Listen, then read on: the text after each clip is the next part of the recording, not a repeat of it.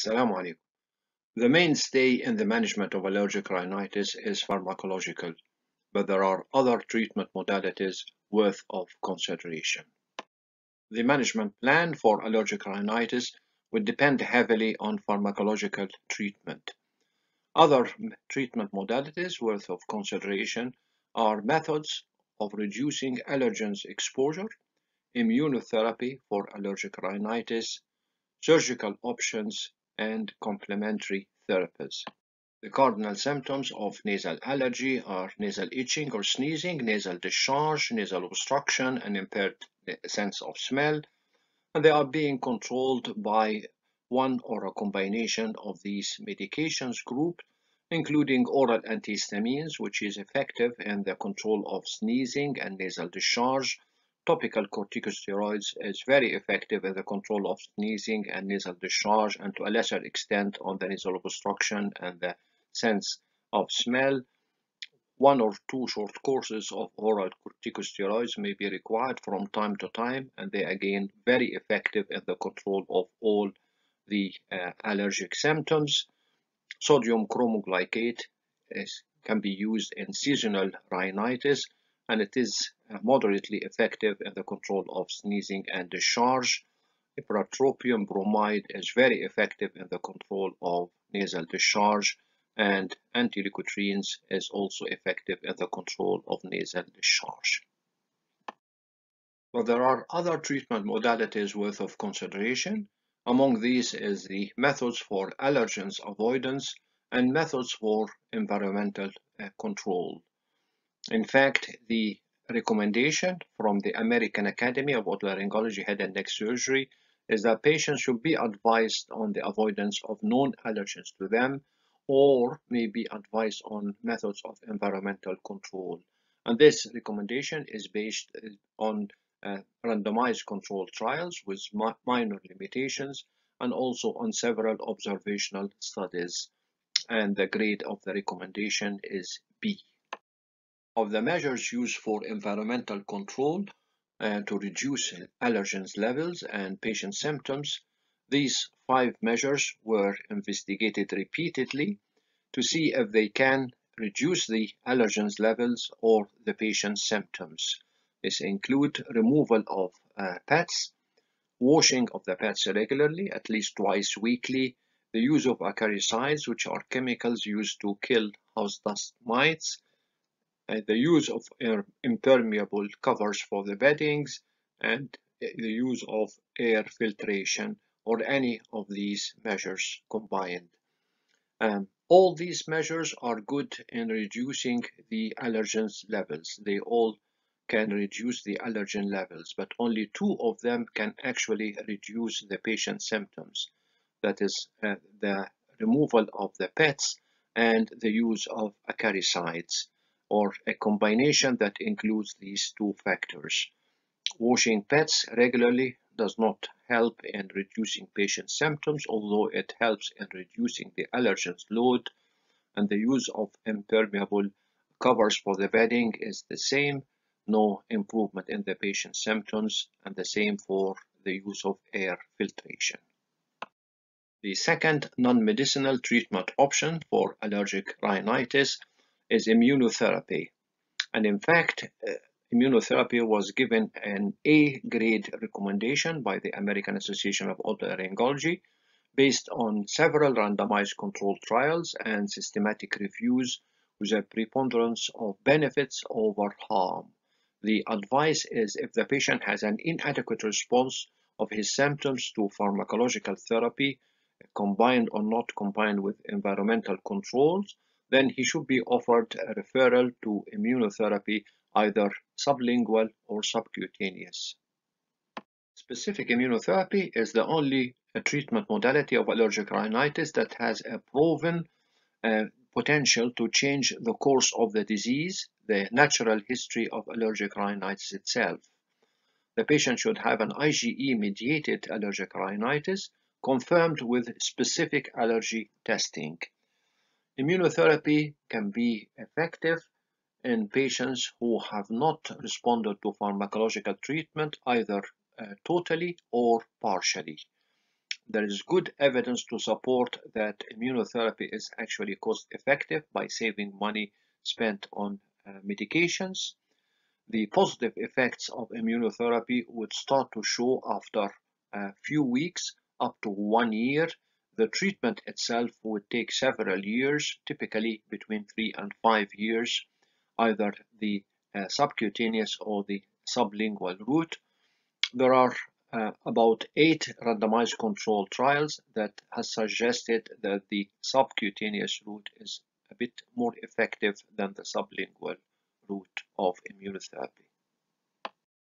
In addition to the group of patients who had failed to respond to medical treatment either, either partially or totally, the immunotherapy should be offered to patients who have systemic allergic reactions towards stinging insects like bees or wasps, and to patients who have allergic reactions towards specific allergen proven either by the repeated history or by specific allergic tests, or to patients in whom avoidance of a certain allergen in the future is unavoidable, or to patients who have other uh, coexisting conditions like sinusitis, asthma, or both.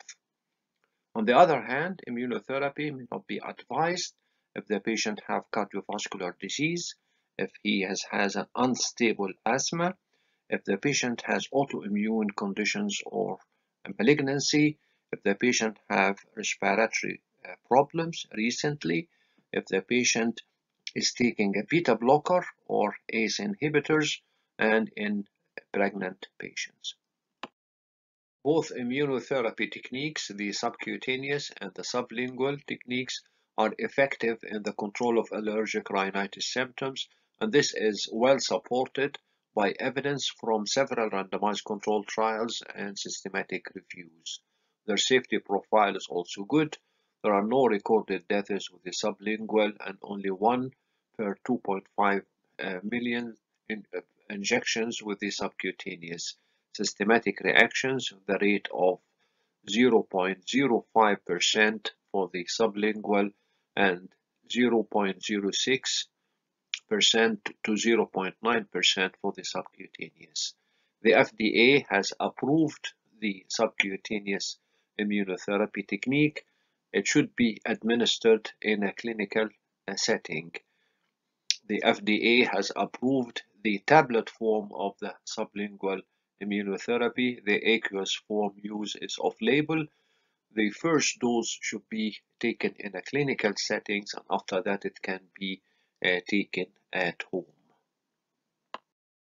Another treatment option is the intranasal botulinum toxin A, which is quite effective in decreasing the allergic rhinitis symptoms.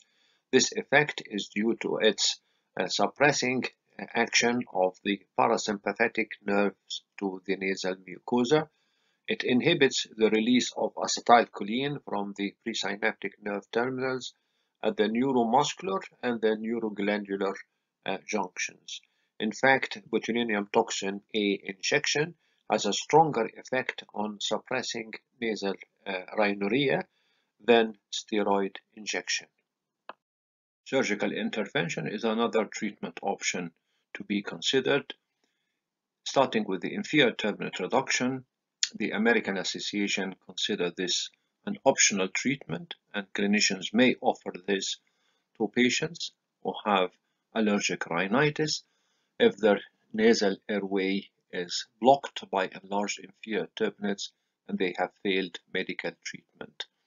The evidence quality is grade C and the level of confidence is moderate because the uh, treatment option was based on observational studies. The submucosal inferior turbinate reduction improves the nasal airway and allows access for topical nasal steroids. The complications are limited, it's have high efficacy, low risk, and relatively low cost. Several surgical techniques were suggested for the inferior turbinate reduction including turbinectomy in which an entire portion of the inferior turbinates are resected, submucous resection in which only the tissues between the mucosal cover and the bones are removed, and tissue ablation uh, by shrinking the volume of the turbinates with laser cautery, electrocautery, or cryotherapy. A prospective and randomized study on almost 400 patients were conducted to see if there is any difference between these different procedures and it came out that the submucous resection without fracturing of the inferior turbinates was the most effective surgical therapy and had the fewest complication rate.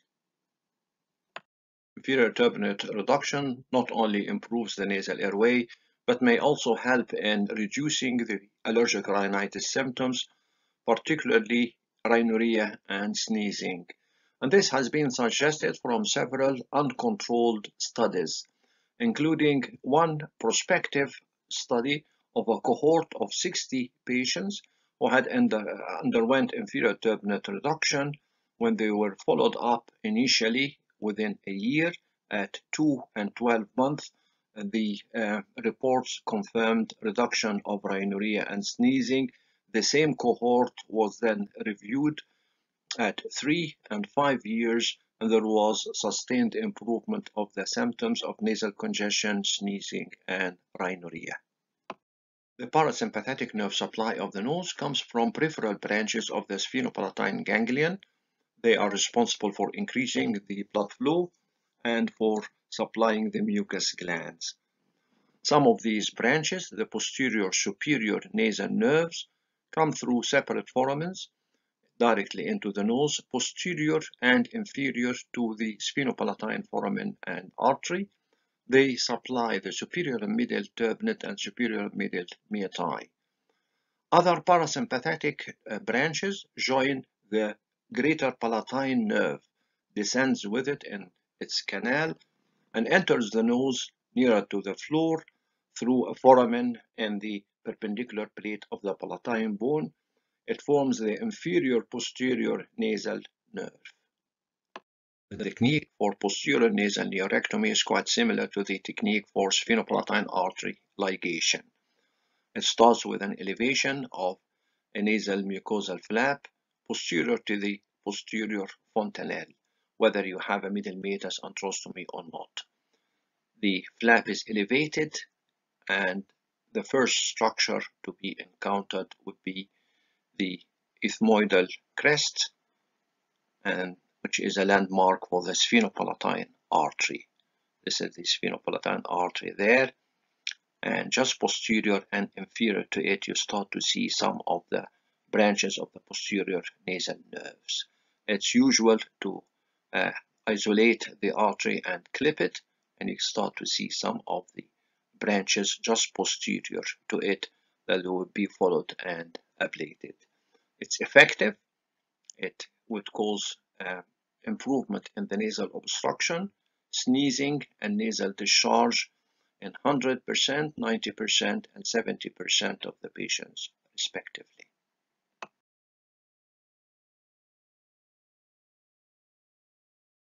Other simpler techniques to do the posterior nasal neurectomy were described, including the use of radiofrequency applied bilaterally on the posterior part of the middle meatus and the posterior part of the inferior turbinate in non-overlapping areas. And temperature should be around 60 degrees for the radiofrequency and this method is effective and safe. There are also other techniques using cryosurgery, ablation, or endoscopic laser ablation. The endoscopic posterior nasal neurectomy would reduce nasal sneezing, rhinorrhea, and obstruction at a month, three months, and six months from the operation. There are significant histological changes in the nasal mucosa following parasympathetic neurectomy. This includes significant reduction in the uh, cellular infiltrate, in the stromal edema, in the eosinophilic infiltration, reduction in mast cells and histamine, reduction in the mucosal acinar gland cells, and also a significant uh, reduction in interleukin 5 and nasal secretions. As doctors, we don't always believe in complementary medicine, but as doctors, we should always believe in scientific evidence. There is some evidence to support the use of acupuncture in allergic rhinitis. The American Association of Otolaryngology had made it an optional treatment with a grade B for the uh, evidence quality. This was based on randomized controlled trials with some limitations and observational studies who are all consistent in their effect. The confidence and the, the confidence level and the evidence is, however, low because there were some uh, methodological flaws in the studies, including that there were no comparison with the traditional medical therapy for allergic rhinitis. The placebo effect in trials for medical or complementary medicine for allergic rhinitis is quite significant. It can be greater than 50% symptoms improvement for the placebo group, and this should be taken into account while considering any new treatment. The exact mechanism of action of uh, acupuncture in allergic rhinitis remains unknown. Some studies suggested that it reduces the production of interleukins, particularly interleukin 10 in allergic rhinitis and interleukin 6 and 10 in asthma. Several studies had showed some improvement in the patient's symptoms and quality of life uh, after acupuncture. It implied that the effect is mainly for the perennial type of allergic rhinitis, but new studies had also showed some effect in um, seasonal allergic rhinitis. There was no evidence of any significant harm associated with acupuncture and it may remain as an optional treatment for patients who have an interest in a non-pharmacological treatment for allergy. In summary, although allergen avoidance is desirable, it is frequently expensive and time-consuming, and sometimes impossible, like in the case of pollens, for example. Antihistamines and topical nasal steroids are the main treatment for allergic rhinitis. Antihistamines will rapidly relieve itching and sneezing, but have little effect on nasal obstruction. They are more effective if used regularly rather than only ad hoc or in demand. Topical steroids are the most effective treatment for rhinitis, especially if it started before allergen exposure. Monoclonal antibodies for uh, leukotriene receptors antagonists may be helpful. Specific immunotherapy is highly effective, but access to the treatment is obviously limited. And surgery, either submucous diathermy of the inferior turbinates or posterior nasal neurectomy, are effective. By this, we come to the end on this presentation on the non-medicinal treatment of allergic rhinitis that I'm on.